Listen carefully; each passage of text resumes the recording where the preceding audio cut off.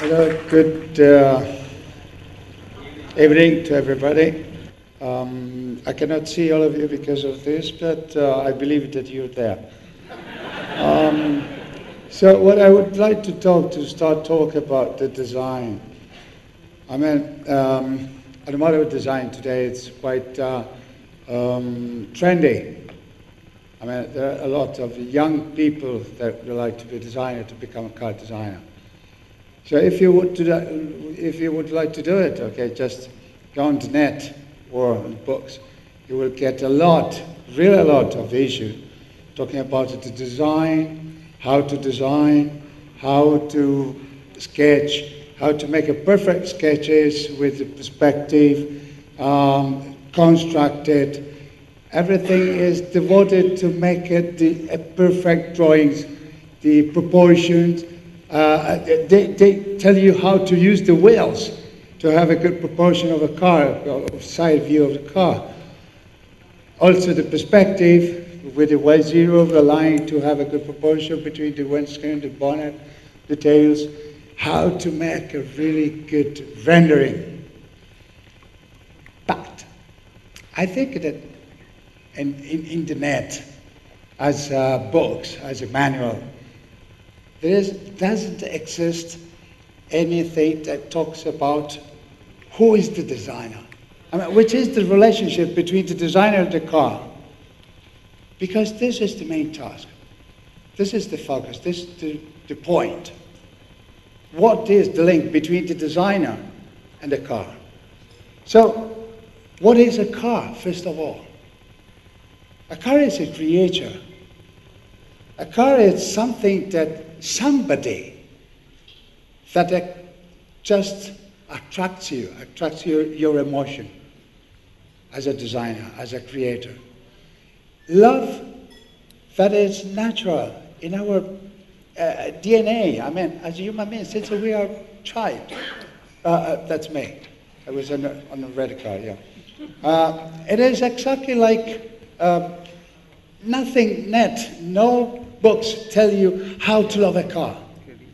It's the same as uh, when, when you, somebody, some nice male is, uh, well, I suppose it's a nice male, is attracted by a nice woman. I mean, do you think he searched in the net or in a book to understand how to be attracted by that girl? I don't think so. Something happened in, in the emotional sphere inside, which start making pumping your heart at 12,000 RPM like a flat 12 Ferrari. I mean, you never search of it, it just happened.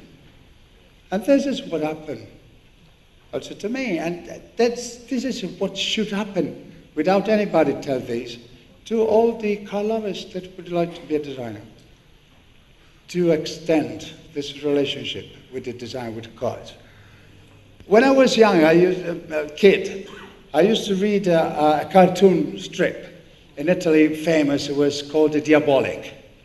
But honestly, I was not interested at all about the history, the story there, the, how many people he killed, how many jewelry he robbed. I was interested in the drawing of the Jaguar E-Type. I bought that book because I was in love with that car. It was my dream to have a relationship with that car the fantastic Jaguar, the E-type Jaguar. So for that reason, I started to be more involved. And I felt like I also tried to, to design, to sketch. And the, the racing is part of this love because it's the most, uh, uh, how can I say, um, obvious emotional relationship with the cars, the racing. So I started to go and watch the hill climbs close to my nice, beautiful Sicily. I'm still in love with the Sicily, except of cars.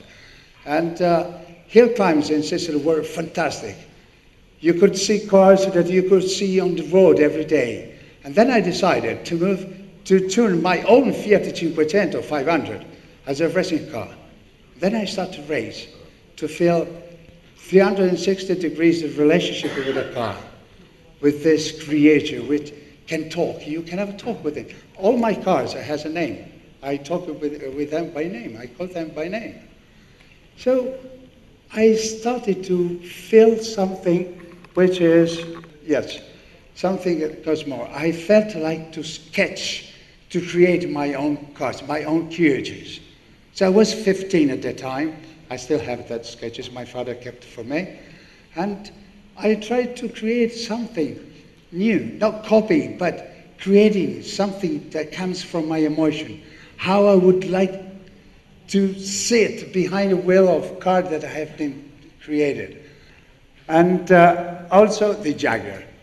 This is the only car that was existing because I was still in love with that car. The big changement comes when I went to see the Targa Florio. Um, I think uh, some uh, enthusiasts of uh, car it was fantastic because one lap of that race was uh, 62 kilometers. So all the drivers coming from all around the world to learn that road, that track, had to spend one week there to test it, to test it, try to memorize it. And that was wonderful because you could see such a situation where there's, you know, in, in the Ape, the three-wheeler. Well, in Italy we already had it. And that, that is a situation where you can see the Alfa Romeo 33 uh, Sport, which was testing the track uh, crossing with the Ape Piaggio. It's incredible. Then I could see the Porsche, could see the, the Ferrari, all the top cars. I could start getting into the feeling of what is the car at the really top level. But I was very ignorant. I didn't know how to become a car designer. I thought to, be engineer, I could create a car. So my, um, I started to think of who was the creator of this car. And you, you can see here Enzo Ferrari with Mauro Forghieri, which was father of Ferraris. He was my God because he was uh, um, creating the F1 and the sport prototype of uh, Ferrari. What was the most important thing for enthusiasts uh, enthusiast people of uh, cars was a Ferrari. But knew, no one thought who was behind Ferraris. So he was my God. I was dreaming to, to know him, to do things with him, to do things like him. So then I realized that to, he was the creator also of racing cars, but road cars, because Ferrari are unique car because it's not a, a, just a road car. Ferrari was a racing car, which you could use also on, on, on the road because some VIP of the United, uh, United States asked to Enzo Ferrari, please, can I go to the bar with your car? So Enzo Ferrari said, yeah, okay, we'll try to do it. And so he, Enzo Ferrari used to create these Ferraris which could be a racing car. They were pure racing car, but you could see also the road which is fantastic to, to LM, which was also racing car. Then I decided that I need to be really closer to that creature, to express my love for that creature. I was becoming mad for this. Then, in the future, I could work with him. This is um, Mauro a little years later, but I could match with him. We could create things together. And it was absolutely fantastic to work with this fantastic person. Then uh, we, we, did, uh, we, did some work for a, uh, for a Subaru concept, with uh, just working on the um, platform, turning the platform, and this is all technical stuff. But the emotion to work with him was fantastic. Then I started also to think about my Fiat 500. I said, why it has to be like uh, it was at the beginning? just give a little bit of more uh, technology to work it. And then I created this um, Group 5 Fiat 500. It's still that. It's not the same car. It's not just a makeup. It was a tip work on it. But I could make it. And it has still the record of the Pergusa racetrack, which was still is on. No other cars beat that record. I'm glad of it. Uh, and my brother, followed to, to, uh, to race with that car because I could not. I was in Turin at Pininfarina. Because when I went to Royal College of Art, which was a very important thing, I could realize that I could be really a designer. The consciousness. This is very important. The consciousness to be somebody and what you can do in your life for what you're doing. Then I went with my colleague of RCA. Now they are all very good position in the uh, automotive world. This is what I'm really like. And then I went to work to Pininfarina. And in Pininfarina environment, I felt really close to my dreams. I could feel that my dreams were very close to be realized, reality. And this happened when a special project came. You remember the Jaguar I was talking before? Yeah, we had a project to design the successor of the E-Type Jaguar. So for me, it was unbelievable. I said, uh, I will do it, I will do it, I will do it. So I started to think how to make it. At that time, we made a, um, an aerodynamic uh, experiment to have the ideal shape of a car, which has the less CD on the air impact, which we used to call porcellino. Porcellino means a small pig, because as you can see, has the expression of a small uh, pig. You know? So that was uh, to give a technology to something which was supposed to be beautiful. As an inspiration, I went to the dolphin because dolphin is one of the most beautiful creature on, on the sea. It's elegant, has a beautiful balance, the surface is incredible, and it has also feelings, emotions, as a communication possibility with the human beings.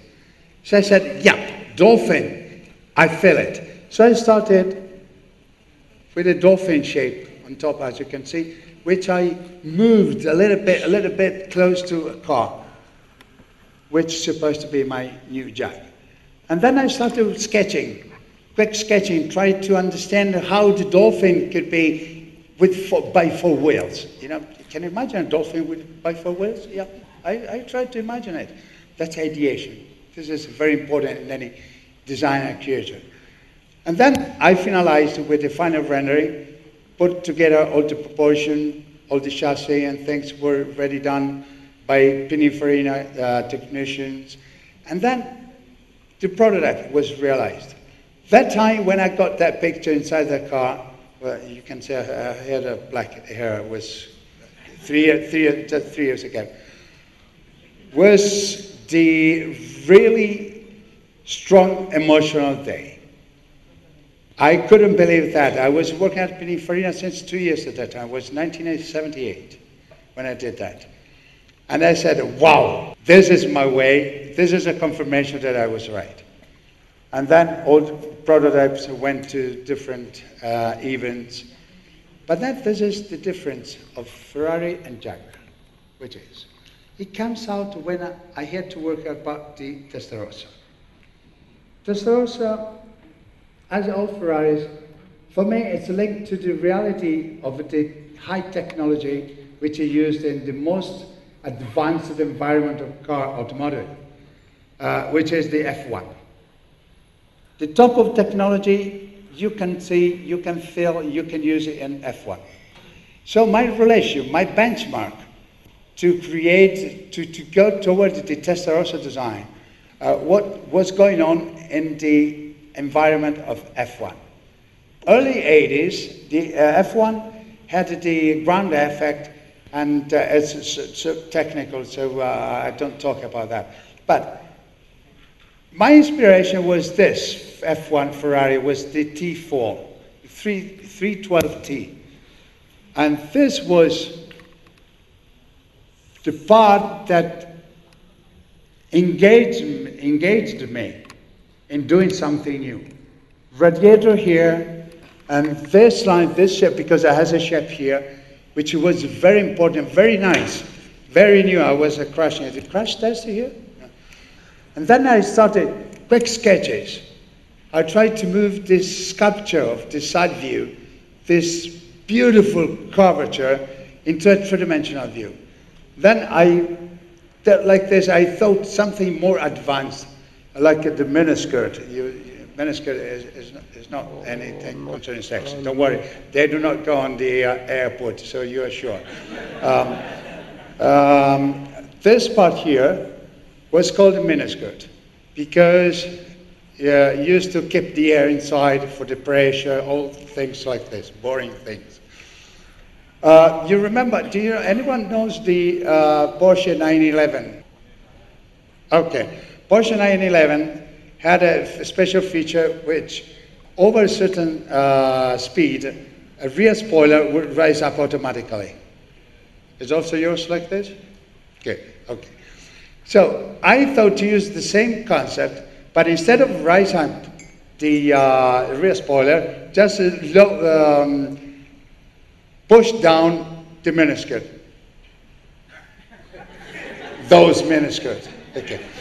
Um, so uh, this would happen after uh, over 200 kilometers per hour, which means you were in a nice road, an expressway, um, and then we moved for some sketches, more to identify the car more uh, two-dimensionally. And then the prototype was tested at the wind tunnel, and as you could see, a lot of work was done on the side views for this radiator backwards, because until that day, all, for, all the cars, sport cars, has a radiator in front because the air comes from, from the front. This was the first car which had radiator on the side. And it worked perfectly, so that we went on production. And as you can see, has a strips as a bar on the side, which was not before. But this is not styling. Becomes an icon. But those strips were because of uh, safety regulation for US. You, in US, you cannot have open space. You need to protect for some accident pedestrian. So uh, Pininfarina Ferrari had to put those uh, strips in a very nice way.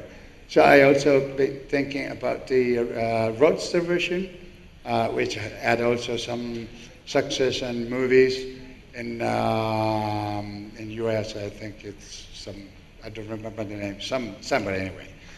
Um, some other Ferrari, but the time is very short.